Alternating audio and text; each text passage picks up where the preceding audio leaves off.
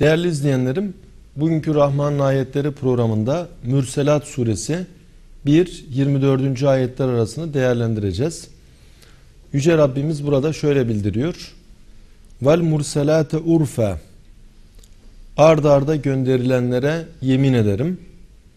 Fel asıfatı asfe kasırga gibi esenlere ve neşrati neşra ve neşredenlere fel fergati ferga derken ayıranlara fel mulgiyati zikra ve bir zikir ilka eden bırakanlara uzran ev nüzra yani bir özür olmak veya uyarı e, için bir zikir bırakanlara yemin ederim ki inneme tuadune levagi size vaad olunan mutlaka olacaktır gerçekleşecektir. Değerli izleyenlerim Allahu Teala burada bazı kuvvetlere yemin ediyor. Bunların e, neler olduğu hususunda tefsirlerde değişik açıklamalar yapılmış. Mesela vel murselate urfa e, gönderilen bu gönderilenler elçiler olabilir, melekler e, olabilir. Öte yandan rüzgarlar olabilir.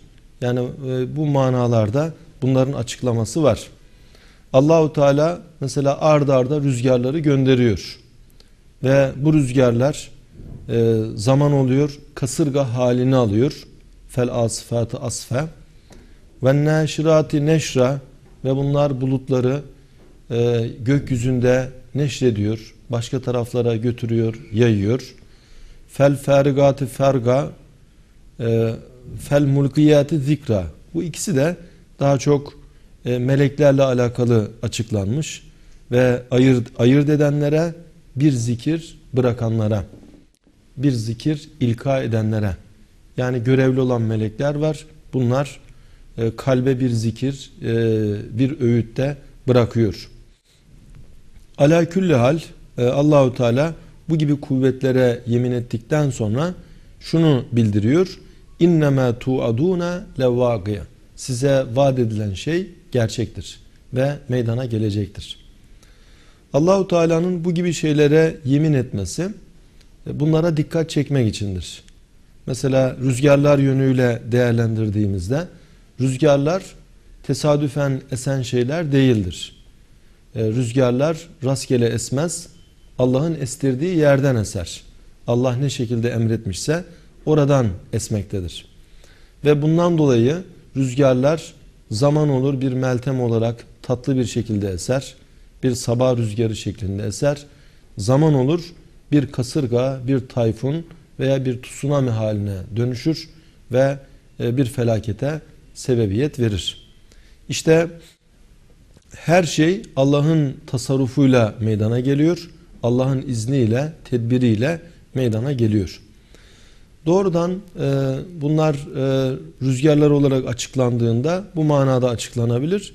Bir de bunlara görevli olan melekler yani e, şu alemde gördüğümüz varlıklarda görmediğimiz meleklerde istihdam ediliyor.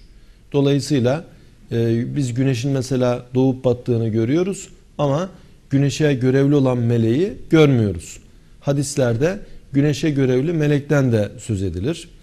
Öte yandan e, bu ayetlerin e, konumuz olan ayetlerin açıklamasında bunlarla alakalı görevli meleklerden de yine söz edilir. Dolayısıyla rüzgara görevli olan melek de var ve onlar Allah'ın emriyle o rüzgarları Allah'ın emrettiği şekilde estiriyorlar. Burada e, size vaat edilen muhakkak ki gerçektir. İşte insanlara vaat edilen öldükten sonra dirilme mesela e, insanlara vaat edilen bir durumdur. Semavi dinler bunu e, bize bildiriyor. Peygamberler gönderildikleri ümmetlere bunu bildirmişler. Ama insanların büyük bir ekseriyeti tereddütle karşılamış veya inkar etmiş. İşte Allahu Teala tekitli bir şekilde bütün bunlara yemin ettikten sonra bunlara yemin ederim ki size vaat edilen vakidir, olacaktır. Peki ne zaman olacak? İzen nucumu tumiset yıldızlar söndürüldüğünde. Şu anda yıldızlar parlıyor ve gecemizi birer gece lambası gibi aydınlatıyor. Ama gün gelecek artık yıldızların görevi sona erecek ve yıldızlar yıldız lambaları söndürülecek. Ve ize sema'u furicet sema yarıldığında. Sema üzerimizde gayet muhkem, gayet sağlam bir şekilde bina edilmiş. E, gök kubbe e, gayet sağlam, muntazam ama gün gelecek sema yarılacak. Kıyamet koptuğunda artık sema e, inşikak edecek ve ize semaun fetarat ize semaun şakkat gibi ayetlerde anlatılan e, yarılması, parçalanması tahakkuk edecek. Ve izel cibalu nusifet dağlar yürütüldüğünde yani dağlar bir toz halini aldığında dağlar şu anda sabit görülüyor ama kıyamet koptuğunda o sabit gördüğümüz dağlar un ufak hale gelecek paramparça olacak. Ve izer rusulu ukkitet ve elçilere belli bir vakit verildiğinde li eyyi yevmin uccilet hangi gün için onlar tehir edildi? Yani elçilerle alakalı vaat edilen şeyler var ve e, onlar için belli bir vakit e, belirlenmiş. İşte hangi gün için tecil edilmişse, tehir edilmişse o gün gelecek. Liyevmil fasl fasıl günü. Fasıl ayırmak anlamında. Yani e, insanlar şu dünyada iyiler ve kötüler karışık bir halde. Ama kıyamet koptuğunda iyiler ve kötüler birbirinden ayırt edilecek. Ve Yasin suresinde ifade edildiği üzere vemtazul yevme eyyuhel mücrimun. O zaman e, hayatını cürümle geçirenlere, günahla geçirenlere denilecek ki ey mücrimler artık bugün ayrılın. Yani dünyada iyiler kötüler beraberdi ve dünyada iyiler doğrudan mükafatını almadı. Kötüler doğrudan cezasını tümüyle görmedi. Ama e, kıyamet koptuğunda artık belirlenen vakit geldiğinde herkes e, yaptığı amelin karşılığını görecek ve böylece yevmül fasıl tabir edilen ayrım günü, iyilerin kötülerin birbirinden ayrıldığı gün e, tahakkuk edecek ve gelecek. Ve ma edrake ma yevmül fasıl. Yani bildin mi fasıl günü nedir? Veylün yevme izillil mükezzibin. Ee, o gün Allah'ın ayetlerini yalanlayanlara veil olsun, yazıklar olsun. Yani o gün vay onların haline. O gün onların göreceği var, çekeceği var. Veylün yevme izillil mükezzibin bu sure içerisinde 10 e, defa e, tekrar ediliyor ve her bir tekrarda hem bir vurgu var. Malum edebiyatta tekrir diye bir sanat vardır. Tekrir sanatı e, manayı daha da kuvvetlendirmek içindir. Bazı şeyler böyle tekrarlandığında apayrı bir güzellik meydana gelir. Burada da Allah'ın ayetlerini yalanlayanların vay haline denilmesi ve bunun e, tekrar edilmesi insanı Allah'ı yalanlamaktan, Allah'ın ayetlerini yalanlamaktan sakındırmak için. Yani o yalanlayanların vay haline. Dünyada Ebu Cehil gibi, Ebu Leheb gibi, Firavun gibi, Karun gibi yalanlayan insanlar var. Şu anda da nice insan Allah'ın ayetlerini kabul etmiyor, yalanlıyor ve belki de dünyada başına doğrudan bir felakette gelmiyor. Ama o gün fasıl günü geldiğinde onların vay haline.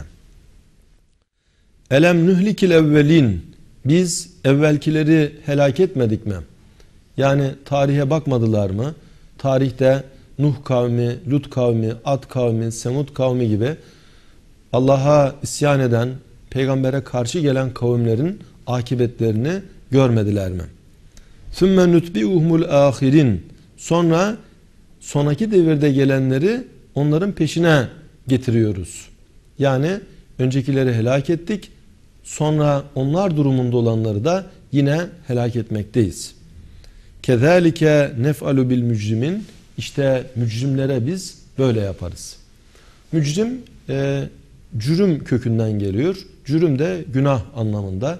İşte insan her ne kadar cirmi itibariyle küçük olsa da cürüm itibariyle çok büyük günahı var. Yani affedersiniz bir pislik e, işte bir yemeğe karıştığında yemeğin tamamını yenilmez hale getiriyor. insanın da günahları o insanı ve o insanla alakalı alemi e, gerçekten e, nahoş bir hale getiriyor. Bundan dolayı insan bedenen cirmen küçük olmakla beraber cürüm itibariyle günahı gayet büyük. İşte Allahu Teala tarihte mücrim olanları cezalandırdığı gibi e, günümüzde de cezalandırmakta. İlahi adalet bu şekilde tekerrür etmekte, kendini göstermekte. Veylün yevme izillil mükezzibin o gün yalanlayanların vay haline. Elem nahlukkum min ma'in mehin. Biz sizi hakir bir sudan yaratmadık mı? Yani bu mücrim olanlar, cürmü, günahı, hayat tarzı, hayat felsefesi olarak benimseyenler nelerine güveniyor? Bunlar kendilerini ne zannediyor? Biz sizi e, hakir bir sudan yaratmadık mı? Yani her insan evveline baktığında mebdeinin, başlangıcının böyle bir su olduğunu görecektir. Atılan bir su, Allah atılan bir sudan onu insan haline getirmiş. Ve tabi bunun nazara verilmesi yani ey insan sen neyine güveniyorsun? Sen kendini ne zannediyorsun? İşte bir zamanlar bir tek hücre halindeyken kendinden bahsedilmeyen, bilinmeyen bir durumdayken kalkmış şu anda alemlerin Rabbine kafa tutuyorsun. Haddini bil manasında bir uyarı var. Fecalnahu fi gararin mekin ve biz o hakir suyu sağlam bir yerde e, yerleştirdik. Yani ana rahminde yerleştirdik. Bu da Allahu Teala'nın e, koymuş olduğu kanunlardan insanlar e, üreme yoluyla bu şekilde dünyaya geliyor.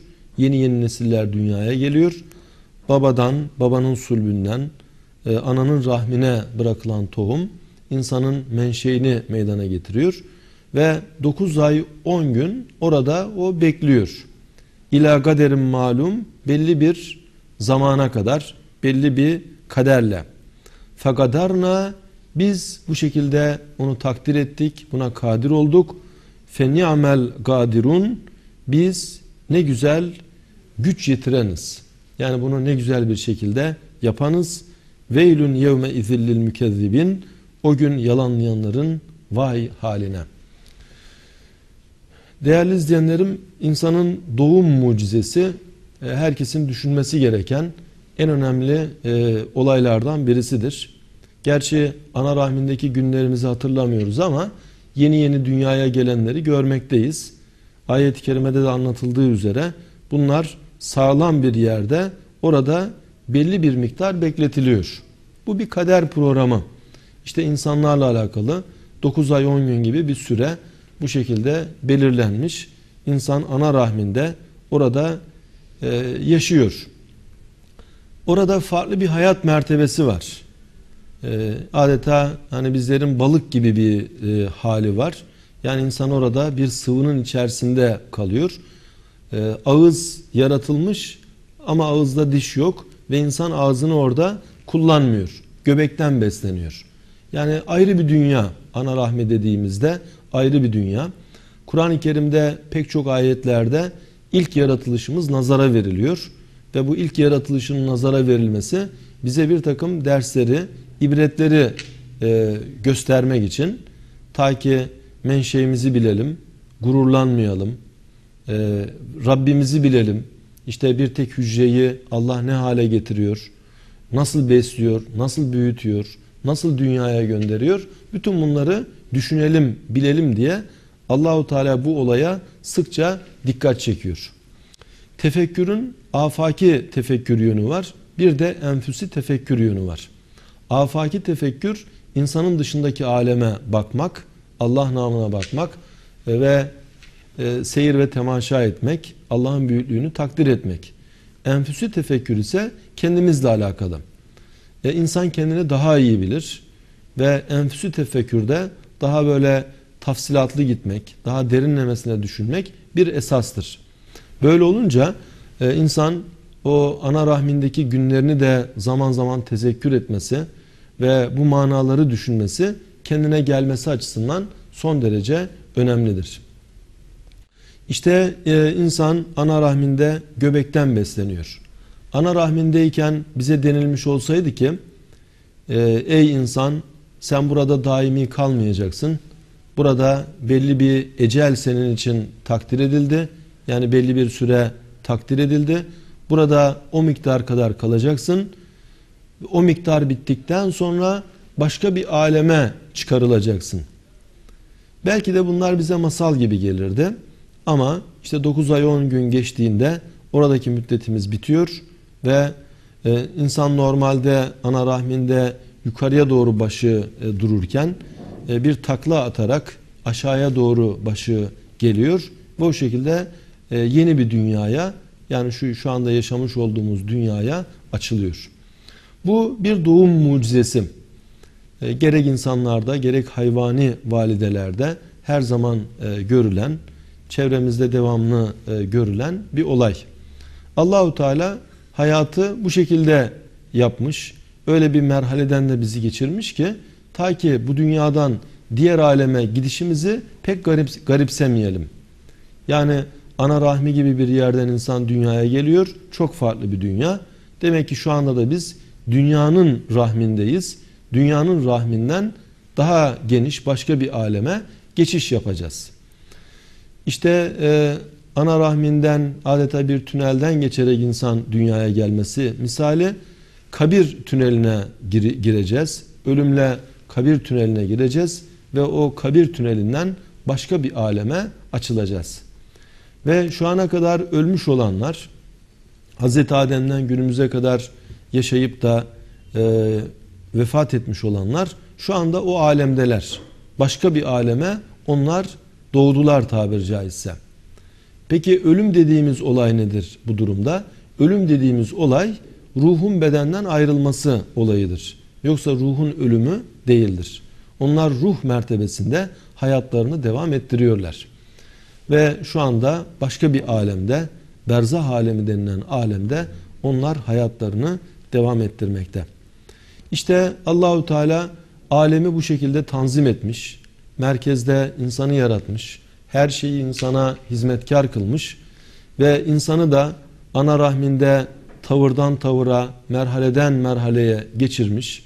Bir tek hücre halinden elleri, ayakları, gözleri, kulakları olan akıl sahibi, ruh sahibi bir varlık haline onu getirmiş. Ardından onu dünyaya göndermiş.